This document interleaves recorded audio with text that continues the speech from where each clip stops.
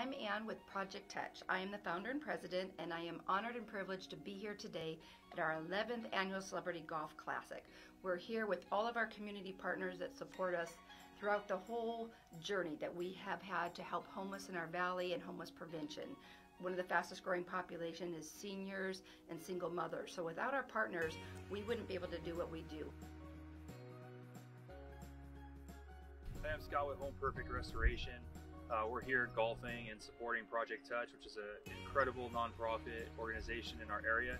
We've been supporting and, and uh, this organization for the last six years to help people that are homeless or about to be homeless get in off of the streets, get a roof over their head, help them get back on their feet so they can be uh, back in the community working and providing for their families. So, an incredible organization. We're very happy to support them. Home Perfect has walked alongside us from day one.